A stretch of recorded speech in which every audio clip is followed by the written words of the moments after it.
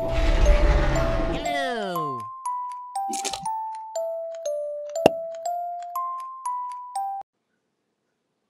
Hello everyone, this is Gali. Welcome to a new episode of How to Draw Dragons. Today we're going to learn how to draw them facing the front view. This might not seem like a very easy thing because, well, the head shape changes a lot, but I have found many references that could probably help us when trying to make this happen. So, uh, the first thing we have to do is find the shapes of the head. And in this case, I've gathered many references, as you can see. One of them is a figurine of the dragons you can find in art stores and some toy shops. This one. It's facing the front, but if you have the physical figurine, you can turn it around and then you can see the different angles. This other one is Galidor, my dragon. This is a reference made by Sky Sealer on DeviantArt, and she made it look really cute facing the front. He has a square shape in his face. And then you can see that I have many other different drawings. I have some, for example, by a person in DeviantArt, Skull Seal Artworks. It's a very funny, smiley dragon also facing the front. This is a little sketch I made, and then we have this one. And you can see that they all have something similar. They have horns, they have obviously eyes, and spikes or ears or something coming out of their uh, face. And in this case, you can see real life animals like an alligator or turtle, iguana. I have a bearded dragon right here, a Komodo dragon, a snake. They're all reptiles, but you can also use different animals to make the faces. It doesn't really matter as long as they're facing the front. So as you can see here, I made some simple shapes based on the drawings, all the pictures that I have on the left. You can see that some of them have more triangular faces, others have more square-like or rectangle-like faces. I made one based in a mixture between this one, the Komodo dragon, and the spikes of the other dragons. But what I want you to see is that they all have something in common. And we're going to draw on it so you can see. Make it bigger. So what happens with all of these is that they have their eyes almost either on the front or on the sides but facing the front because they're predators. And what happens with predators is that their eyes they look really mean when I paint them with red.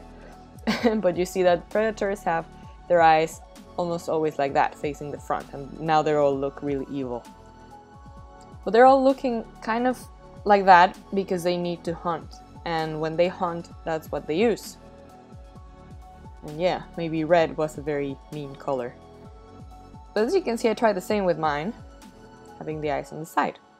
And then what we follow is the nose. And the nose is obviously always on the front, but as you can see, for example, the alligator has very close nostrils. and iguana has them to the side with a rounded shape. The turtle has more triangular or diamond-like shape nose. The bearded dragon has more kind of a rectangle shaped nose. The Komodo dragon also has like a very rounded or square-like uh, form of the nose. And the snake as well has more like a rectangle. And you can see, yeah, they're all different, but they're all like little figures. The thing is you have to think of the shapes. What I suggest is always tracing on top of a, a photo or a picture so you can understand what it is you're drawing. Tracing on top of pictures for learning and reference is not a bad thing, so don't be discouraged from trying. Because that's the only way we can learn is to reference from reality. So you can trace the shapes that you see on top of the, you know, the creatures. See how different their shapes are and how their mouth wraps around the face. In this case, for example, it goes around. Like that. So it always goes around, but you can see it in the front. Think of Smaug, the dragon from The Hobbit. When he's looking at the front, you can also see his mouth going to the sides, like this one. So when you want to make your own dragon, you can always, with references, trace on top of references as well, as long as you credit who you are referencing. We can see, for example, in this dragon, he kind of has a diamond-like shape. This is great because it's a sculpture, so that means it's 3D, and you can probably change the angles, just like you would do with a figurine. Before you put all the details of the horns and the spikes, try to understand why you're putting the shapes you're putting. For example, the horns, right? They go on top of the head. Then the nose. Facing the front, the nose won't look long, it will look like a flat shape, but you have to see the shape. For example, this dragon reminds me of the turtle shape, but the nostrils of the dragon are different, and they could probably be kind of like an iguana. The eyes are big, but they're also facing the sides, but at the same time, he could be looking at you like this on the front. Right? So that's what we do when we want to learn something. We take the shapes of that and then make our own. We're going to go back with a drawing I had of this guy and I'm going to to draw on top of this. Remember you can pause the video at any time to grab the references or grab your own references and try it. Making the body face the front is the same thing that I'm doing with the head. You can grab other animals, such as, I don't know, horses, tigers, wolves, and draw their bodies facing the front. The thing about figurines, in this example, for example, is that sometimes their anatomy is not very correct. But we can always, the more we practice, the more we can correct. So in this case, for example, he has a circle at the base. And then he has more like a diamond shape of the mouth. And then the eyes, as you can see, the same thing. These ones are more front facing. You can also trace the body to get an idea.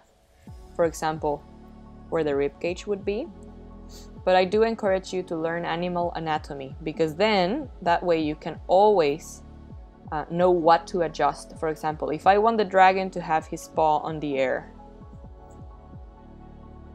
or in the air, sorry, you go and I don't know, you can adjust. No? If you know anatomy, you can do that. You can change what you see to a different thing. To understand what you're doing is not just enough to copy what you see, you have to learn what's behind it.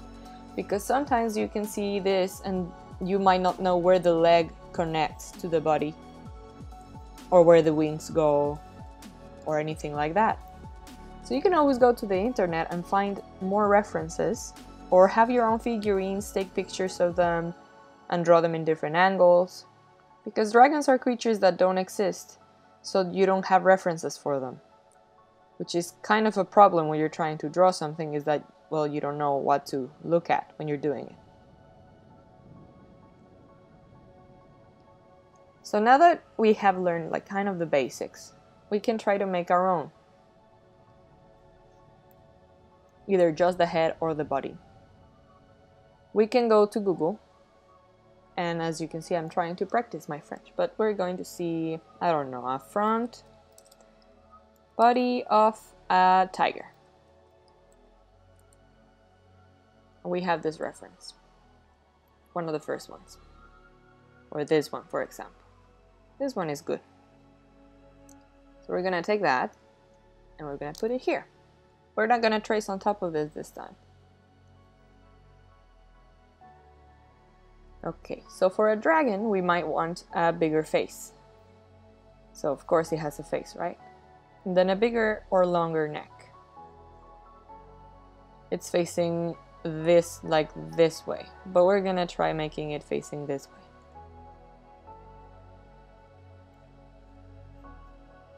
Then, as you can see, the tiger is a shorter body. And this tiger is, his body is kind of going this way.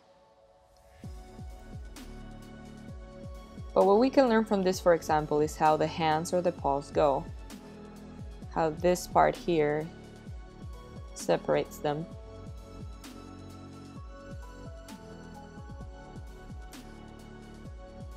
He has his little legs like grabbing the rock. I say little legs, but they're usually big. So in this case, for example, you see the difference is that the head is very close to where you see the back. In this case, it's not because we're making a dragon. So what we have is like the body, it might go this way, the rib cage.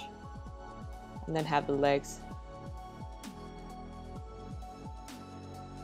facing this way.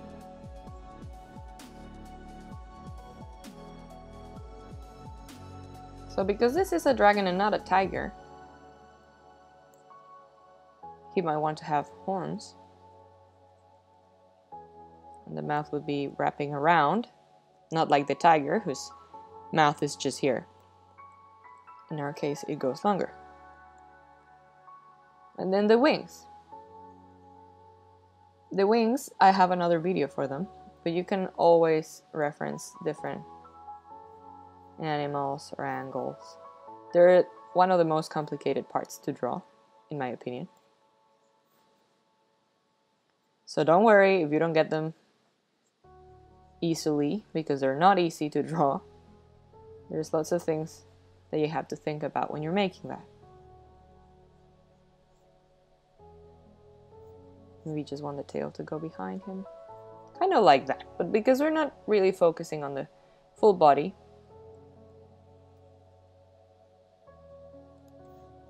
you can see is that once you have your references set up,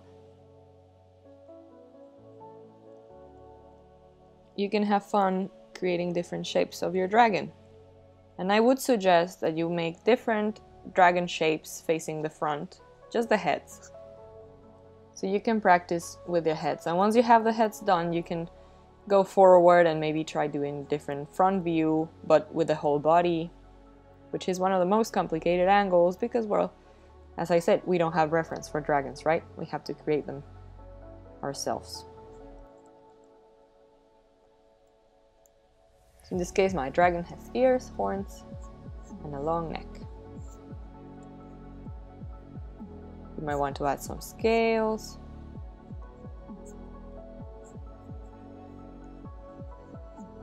You can also grab more references. You don't have to stick to the one you chose, like you can have many more.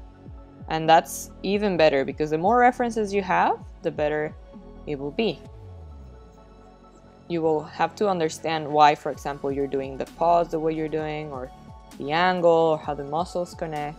And all that takes time, and even the most experienced artists always have to look for reference because we don't learn everything immediately. And sometimes we forget what things look like.